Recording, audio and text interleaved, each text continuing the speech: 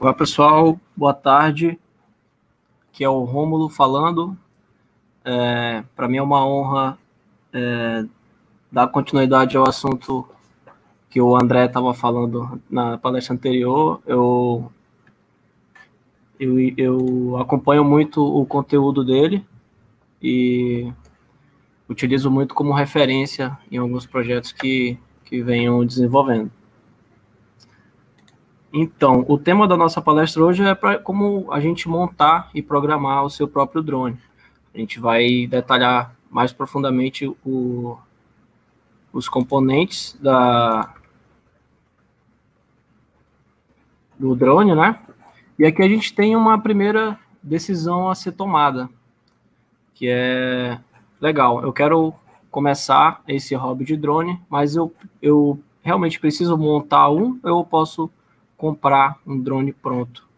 É, é uma decisão que você vai tomar, é uma decisão totalmente sua, uma decisão pessoal. É, existem muitos drones bons no mercado é, disponíveis, pre, preços é, muitos variáveis. Você consegue comprar drone de 600 reais até 30 mil. É, você tem que pensar bastante o quanto que você deseja investir nesse ou hobby ou nesse trabalho que você vai fazer com, com esse equipamento, né? O tempo disponível que você vai ter para se dedicar a esse projeto. Lógico que comprando um drone pronto, você sai da loja, com, tendo a bateria carregada, você já consegue fazer seus voos, fazer suas imagens, etc. Né? É, se você optar pela montagem, você vai ter que ter uma disponibilidade, tem que ter uma disponibilidade maior de tempo e vontade de aprender coisas novas. Você vai encontrar bastante desafios. Você tem que ter é, algum conhecimento básico de, de eletrônica, de soldagem, é, mas não é nada muito complexo. Tem muito material interessante na internet. Alguns projetos, o André falou anteriormente, alguns projetos bem legais para você se basear e montar o seu próprio drone, né?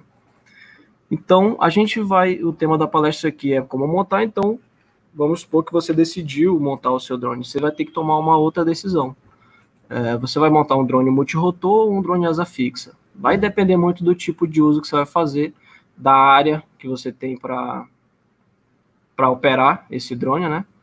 É, os drones de asa fixa, hoje em dia, eles são mais utilizados em é mais para uso profissional, para mapeamento de terreno. É, ele, por, por, ele ter um motor apenas, a, maior parte, a maior, a maioria deles só tem um motor, a gente consegue uma autonomia de voo bem maior. Tem drones de asa fixa que chegam a, a ultrapassar uma hora de voo, uma hora e meia de voo, né?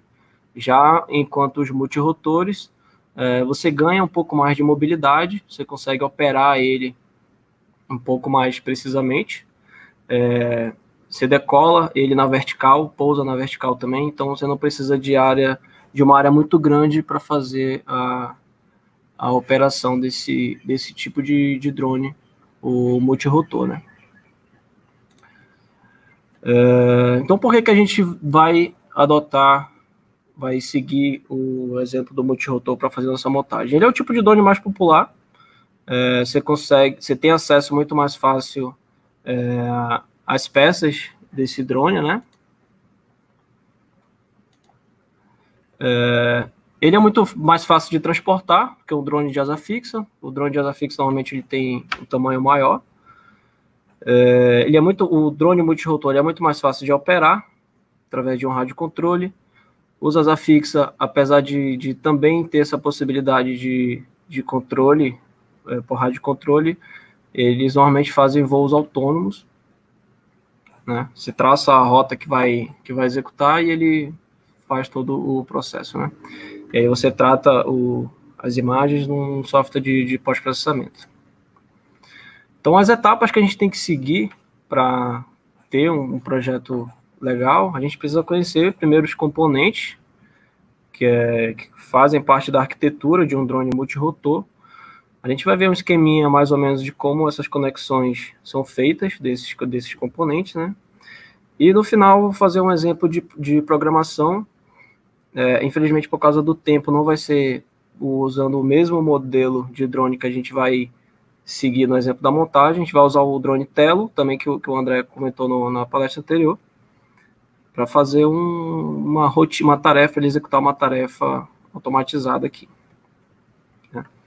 A gente precisa de ter algumas ferramentas básicas para a gente fazer essa construção. Uma estação de solda, multímetro para você checar é, as tensões que estão chegando, é, se as conexões estão certas ou não. Você vai precisar de um computador para fazer suas pesquisas, para ler documentação, para programar o seu drone. É, e fora as outras ferramentas, alicate, conjunto de chaves, é, coisas que normalmente a gente tem em casa, né? Essa aqui, basicamente, é a arquitetura de um drone multirotor. É, eu tenho um, um, aqui em mãos. É, esse aqui, deixa eu só puxar a minha aba aqui. Esse drone aqui, ele está seguindo basicamente essa mesma arquitetura. A gente tem é, as hélices, eu estou sem as hélices aqui a gente tem as hélices, a gente tem os motores, a gente tem os controladores dos motores, que são os ESCs, a gente tem a controladora, receptor de rádio, a gente tem baterias, né? E a gente vai falar um pouquinho de cada um no, na, mais para frente aqui da apresentação.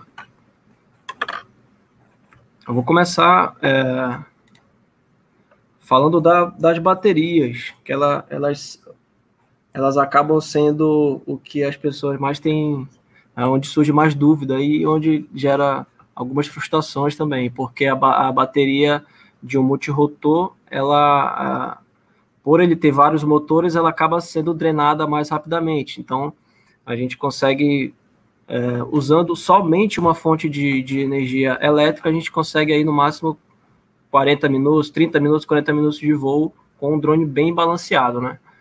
Então, a função da bateria no, no drone é como uma bateria comum, é, ela funciona convertendo energia química em energia elétrica e energia elétrica em bateria química, né, dependendo da, do, do, quando você está carregando ou está descarregando ela, né? No caso dos drones, normalmente são utilizadas baterias de lipo, são baterias de polímero de lítio, que é esse componente químico que, que armazena essa energia. E uma, a principal característica dela é a alta capacidade de, de, descarregamento sem sofrer danos estruturais. Ela, a gente consegue extrair dela altas correntes sem danificar essa bateria, desde que sejam observadas algumas características dela. É, toda bateria ela tem uma intensidade de corrente por hora. Nesse caso aqui, eu tenho uma de 5.200 mAh. Outra característica que sempre deve ser observada é a taxa C. Nesse caso aqui, ela é uma 35C. Aqui no, no, no, no nessa imagem a gente consegue ver também várias baterias diferentes. Essa taxa C, ela passa para a gente é, o, a corrente de pico que essa bateria consegue drenar. Então a gente pega a capacidade, a intensidade dela de corrente por hora, multiplica por essa taxa C e a gente consegue chegar num pico de 90 ampere-hora, que é uma bateria, na verdade, esse valor que eu, que eu coloquei aqui na apresentação é para essa outra bateria aqui. Né? Então essa bateria ela consegue fornecer para a gente picos de 90 ampere-hora. E a gente tem também uma outra característica das baterias, é a tensão dela. É, a tensão da, da, bater, da bateria de lítio ela varia de acordo com a quantidade de células que ela tem. A gente tem bateria, a gente sabe que a bateria de polímeros de lítio, cada célula dela fornece para a gente 3,7 volts. Então, toda a bateria que a gente vai usar nos nossos drones, elas têm essa nomenclatura aqui: 3S, 4S, 6S, tem bateria de 2S também. Então, esse númerozinho aí, seguido do S, ele representa a quantidade de células que cada bateria tem. Nesse exemplo aqui, eu tenho uma bateria de, dá para ver aqui, eu tenho uma bateria de quatro células. Então, essa aqui é uma bateria 4S e ela me fornece 14.8 volts. Essa informação é importante, a gente vai ver mais na frente, porque isso influencia em todo o circuito do drone. A gente precisa de um carregador específico para essa bateria. Faltou atualizar, acho que não está atualizado aqui, tá? Esse aqui é um carregador da dessa bateria aqui. Ele é um carregador que ele carrega e faz o balanceamento de carga entre as células, né? Por isso que ele precisa de, de um carregador específico. E aqui a gente consegue avançar para a parte das hélices. A hélice, ela funciona como uma asa de um avião. Tanto que os, os, os helicópteros que têm somente uma hélice, eles são chamados de um avião de uma asa rotativa. Ela, ela a, cada giro dela, ela cria uma área de menor pressão acima e uma área de maior pressão embaixo. Então é isso que faz o, o que cria a sustentação do drone, né? O que, que a gente tem de característica em cada hélice? As hélices elas têm sentidos diferentes. Normalmente, quando você for procurar os seus itens para montar o seu drone, você vai encontrar hélices CW e CCW, que é clockwise e counterclockwise. São hélices que precisam girar em sentido horário e anti-horário. Porque quando elas estão montadas no drone, elas giram de forma uma de encontro com a outra. A gente vai ver mais para frente no, na, na hora de falar dos motores, por que elas precisam girar assim, para anular a, a, a, força, né? E a gente tem tamanho e, o, e a densidade ou passo, dependendo da literatura que você encontrar, é, é, essa característica tem um nome diferente. Normalmente você vai encontrar essa, essa hélice aqui é uma hélice 7045, então a gente tem 7 polegadas né, por 4,5 de passo de hélice. Essas hélices vão montadas nos motores. Esses motores aqui são motores brushless, são motores que não são, não são escovados. Eles têm uma eficiência bem melhor e tem também uma durabilidade melhor, né? Então, no quadricóptero, que a gente está seguindo como exemplo, a gente tem quatro motores, dois que giram no sentido horário e dois que giram no sentido anti-horário ter uma quantidade igual de motores, ela equaliza a força do giro, né? É ação e reação. Enquanto um motor está girando para um lado, o outro está girando para o outro. E isso, além de fornecer uma estabilidade melhor para o drone, é, evita que ele fique é, girando pela força da, da, da, rotação, né? É por isso que no helicóptero a gente tem um rotor de cauda, porque no helicóptero a gente tem somente uma hélice e o, a força de, de, giro dessa hélice faria todo o corpo do helicóptero girar junto. Então a gente tem um, um, um rotor de hélice para anular a força que, que, esse, que esse giro faz, né? No multirotor, então cada motor ele funciona como um rotor de cauda, assim falando no, do helicóptero para cada motor, né? Então, o que, que a gente tem de característica em cada motor desse? É, normalmente, é, esse motor aqui, por exemplo, ele é um motor 920 kV. Também é uma informação importante que você precisa saber na hora de, de, de montar o seu drone. O KV, ele, ele é uma relação entre a rotação máxima que o seu motor vai conseguir vezes a tensão de alimentação. Lembra que eu falei da, da tensão da bateria? Essa bateria que eu estou usando nesse drone aqui, é uma bateria de 14.8 volts. Então, com essa combinação de motor e bateria, eu consigo atingir pouco mais de 13.600 RPM. É importante a gente saber disso porque a gente precisa ter uma boa relação entre hélice e motor para ter uma melhor eficiência energética, para não gastar a bateria demais, né? Para ter um, um, uma autonomia melhor de voo. O motor, ele, esse motor, ele é um motor, como eu falei, é um motor brushless, ele é um motor ele é um motor AC trifásico e toda a nossa alimentação está sendo feita por uma bateria de corrente contínua, né? Eu tenho positivo e negativo. Então esse esse dispositivo aqui, que nesse caso ele está acoplado aqui na, no braço do drone, todo drone tem isso, é, às vezes é, embutido na própria placa controladora, mas normalmente no, no seu projeto de, de, montagem você vai encontrar esse, esse equipamento separado. Ele vai fazer o chaveamento dessa, da, das bobinas do motor, ele vai pegar a energia do positivo e negativo da sua bateria e vai fazer o chaveamento nessas três, ness, nesses três pinos de saída aí para alimentar o seu motor. Ele vai transformar uma, uma corrente DC em uma corrente AC e também vai é, receber um sinal da controladora para controlar a velocidade de cada drone, de cada motor. Dependendo da inclinação, do comando que você está dando para ele, ele precisa comandar cada motor individualmente, né? Para controlar o, a manter a estabilidade do voo. Para ajudar toda essa, essa melhor é, harmonia entre essas peças, é, entre os componentes do drone, existem algumas, algumas ferramentas que auxiliam. Essa aqui é o eCalc, é, Excopter Calc, ele é, você preenche todas as características do seu multirotor e aqui embaixo ele faz uma avaliação nesse, nesses gráficos, ele mostra como é que se você está usando bem ou, ou, ou, se você tem algum recurso sendo mal utilizado, né? Então aqui, antes mesmo de você colocar a mão na massa, é interessante você preencher direitinho e ir avaliando é, se as suas peças estão em, em acordo, né? Então, a gente falou mais ou menos aqui da parte externa da nossa arquitetura, parte de motor, ESC, hélice, e a gente tem o frame, que seria o corpo do nosso drone, né? Ele que vai dar a forma principal para o nosso equipamento.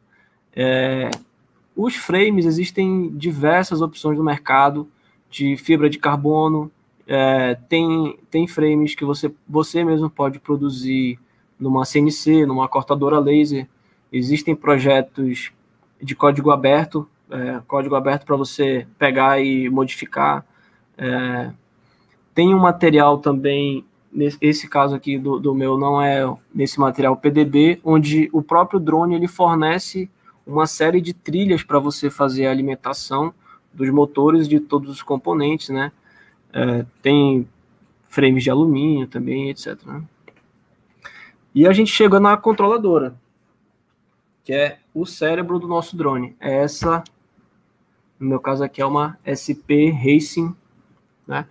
Essa controladora, ela é onde tá, onde ficam os principais componentes de, de, de sensoriamento do seu drone, né? Aqui vai conectado um GPS, se você precisar. É, ele tem um, um, compass, né, que faz o papel de bússola. É, um giroscópio para manter a estabilidade.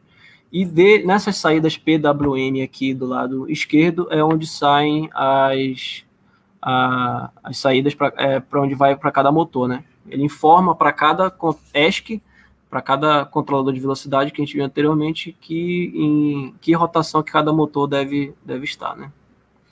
Aqui é uma pequena evolução da, da, de como essas controladoras vêm, vêm sido alteradas né, com o passar do tempo, tanto em tamanho quanto em processamento, e algumas features também que foram é, acopladas a ela, né?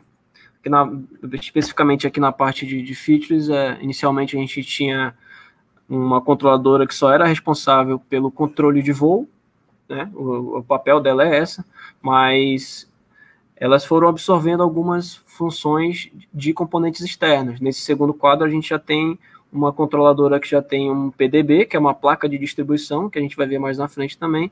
Ela já tem um ESC também é, incorporado. Nas outras aqui a gente tem parte de VTX, que é parte de transmissão de vídeo, para você fazer FPV, né, que é, é, com óculos em primeira pessoa, e slot de, de cartão SD para você gravar suas fotos, etc. Né? Para conectar tudo isso, a gente precisa de uma PDB, que é uma placa de distribuição, que é essa que eu tenho aqui. Ela faz basicamente, ela recebe toda a, a energia que vem da bateria e divide para você não precisar fazer. Eu vou mostrar rapidinho, mas é, é, é a forma que você não deve fazer esse tipo de ligação aqui, tá? Essa plaquinha é justamente para evitar esse tipo de ligação e ela tem alguns controladores também, ela reduz algumas tensões aqui que a gente precisa. A gente tem nosso circuito que precisa que são os motores e a gente tem a gente precisa alimentar toda a parte lógica da controladora. E normalmente a parte lógica ela é alimentada com 5 volts. Então essa essa placa de distribuição ela também faz essa essa queda de tensão para alimentar todo o circuito lógico do, do equipamento, né? Então aqui a gente fechou basicamente toda a, a arquitetura do, do drone, né? A gente precisa de um rádio controlador. Esse modelo que eu, que eu coloquei aqui, ele é um modelo de entrada, ele é que é esse carinha aqui, é o F FlySky FS6.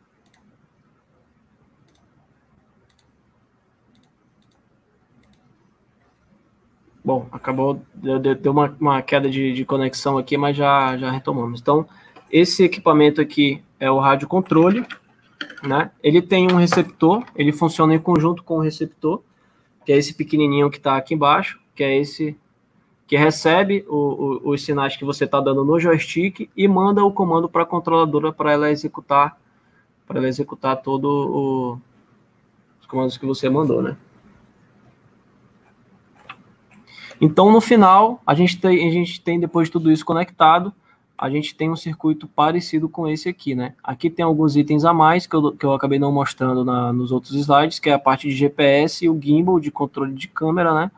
Mas, basicamente, todas as conexões necessárias para fazer o seu drone voar é o que está aqui dentro dessa, dessa imagem, tá?